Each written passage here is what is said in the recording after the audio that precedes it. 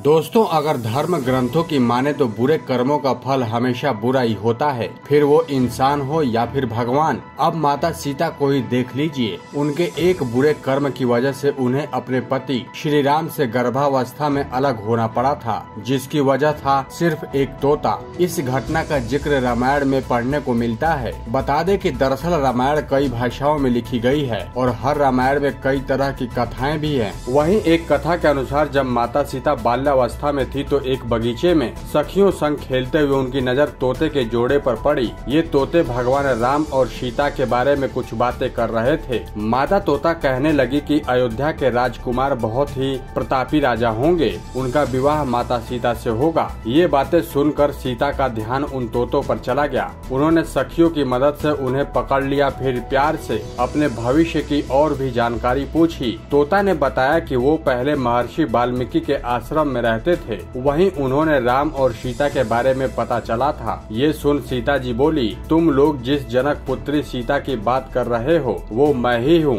कृपया मेरे और राम के बारे में और भी बातें बताएँ। इस पर नर तोता बोला, हे सीता माँ, आपकी विवाह अयोध्या के राजा दशरथ के ज्येष्ठ पुत्र राम के साथ होगा। आपकी जोड़ी तीनों लोकों में सबसे नायाब होगी। तोतों ने सीता को और भी कई सारी बातें बताई। तोते की भविष्यवाणी से खुश होकर सीता ने कहा कि ये तोते मेरे पास ही रहेंगे ताकि मैं इनसे सब कुछ जान सकूँ।